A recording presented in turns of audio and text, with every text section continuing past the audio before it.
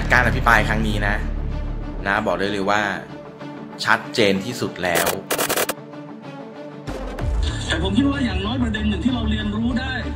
จากกรณีของคุณตะวัน ก็คือว่า มันต้องมีปัญหาอะไรอย่างแน่นอน แล้วทำไมประชาชนอีก 60 ล้านคนเกือบ70 ล้านคนต้องมานั่งทนกับไอ้คนกลุ่มกลุ่มนี้แค่ไม่กี่คน จากการอภิปรายเมื่อวานนี้นะฮะ มันหมดข้ออ้างไปแล้วนะครับสำหรับคนที่บอกว่าฉันเป็นผู้สนับสนุนพรรคนี้ แต่ฉันไม่สนับสนุนการหมิ่นสถาบัน หลังจากการประชุมสภาเมื่อวานนี้มีเหตุการณ์ต่างๆ เกิดขึ้นมากมายเลยทีเดียวค่ะ จนล่าสุดค่ะนับบูมออกมาทำความเข้าใจกับเหล่าบรรดาด้อมส้ม ว่าถ้าหากยังเลือกสนับสนุนพักก้าวไกล ก็ต้องยอมรับด้วยว่าคุณมีเจตนาล้มล้างสถาบันพระมหากษัตริย์ ถือเป็นประเด็นร้อนทางการเมืองเลยทีเดียว ในการประชุมสภาผู้แทนราษฎร ที่มีนายพิเชษเชื้อเมืองพาน รองประธานสภาผู้แทนราษฎรคนที่สองทำหน้าที่ประธานการประชุม โดยนายรังสิมันโรม สสบัญชีรายชื่อพักก้าวไกล ลุกขึ้นอภิปรายยติด่วนเพื่อขอให้รัฐบาลทบทวนมาตรการถวายความปลอดภัย ของขบวนเสด็จตอนหนึ่ง โดยได้นำภาพประกอบขึ้นสไลด์เป็นภาพแกนนำกลุ่มอาชีวะราชพักดี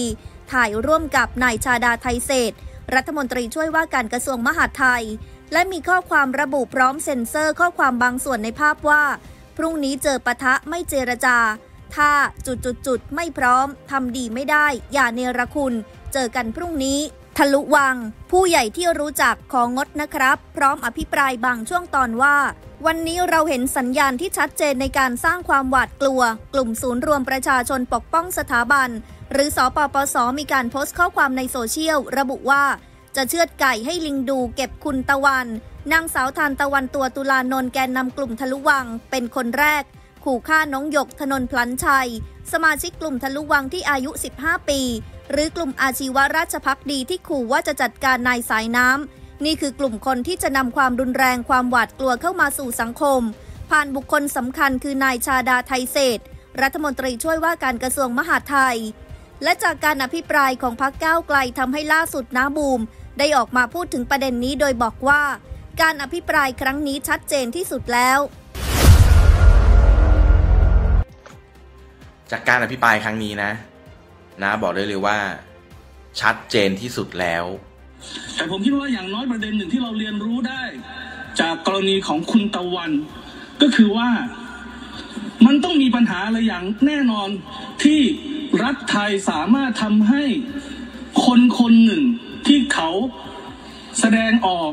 ทางความคิดเห็นทางการเมืองของเขา ด้วยการถือกระดาษแผ่นหนึ่งและผลัก ให้เขาตัดสินใจทำในสิ่งที่ผมคิดว่าคนไทยจำนวนมาก ไม่คาดคิดว่ามีใครจะกล้าท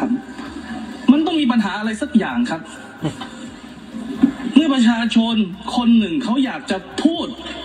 แต่เราไม่อยากฟัง เพราะมันไม่อยากไม่น่าฟังและไม่ต้องการให้คนอื่นได้ยิน แล้วเราพยายามจะไปปิดปากเขา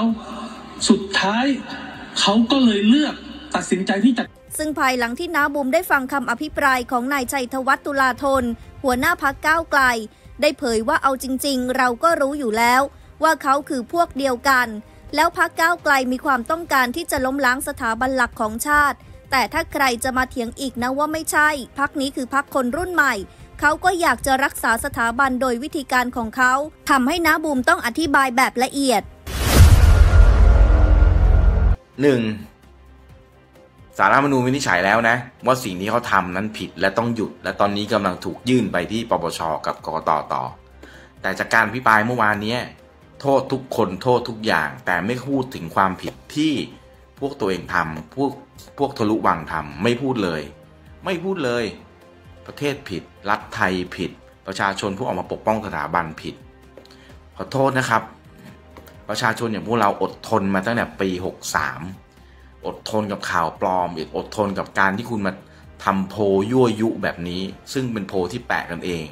จนสุดท้ายมันคือฟังเส้นสุดท้ายที่มันเกิดเหตุการณ์ คุกคามกระบวนเสด็จครั้งนี้ แล้วมันมีทั้งคลิป ทั้งภาพ ทั้งอะไรออกมามากมายคือว่ามันเป็นการพยายามขับรถเข้าไปแทรกขบวน เพราะมันไม่ได้มีการปิดถนน แต่ปัญหามันเกิดเพราะไอ้คนขับรถคันนี้พยายามเข้าไปแทรกขบวน นะฮะประเทศนี้ไม่ได้มีปัญหาเลยเลยครับ พื้นที่ความปลอดภัยในการพูดถึงปัญหาปัญหาเนี่ยมีสารพัดจะมีประเทศนี้เป็นประเทศที่มีอิสระเสรีมาก ๆ ประเทศหนึ่งนะ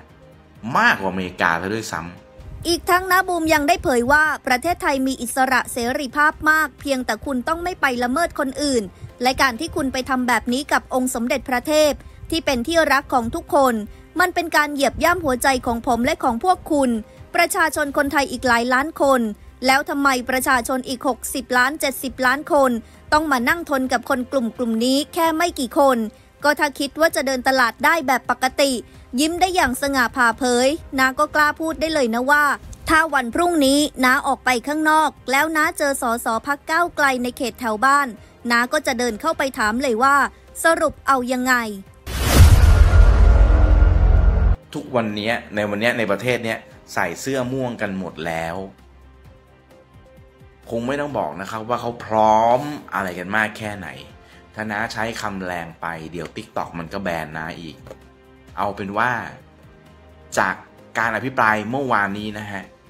มันหมดข้ออ้างไปแล้วนะครับสำหรับคนที่บอกว่า ฉันเป็นผู้สนับสนุนพรรคนี้ แต่ฉันไม่สนับสนุนการหมิ่นสถาบัน มันมันเป็นไปไม่ได้ครับ มันเป็นไปไม่ได้เลยฮะ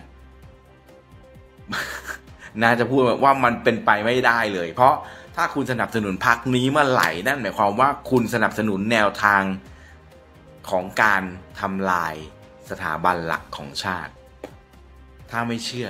กลับไปดูอภิปรายเมื่อวานซ้ำอีกที แล้วคุณจะเห็นว่ามันมีแต่คำที่โทษสังคม โทษกฎหมาย โทษประเทศ โทษคนอื่น โทษทุกคน แต่ไม่เคยพูดถึงความผิดของพวกตัวเองที่ทำเลย แล้วไม่เคยยอมรับด้วย เงินมันคงเยอะมากนะฮะ เงินที่จ้างมาจากต่างประเทศเนี่ย มันจึงทำให้พวกคุณเป็นได้ขนาดนี้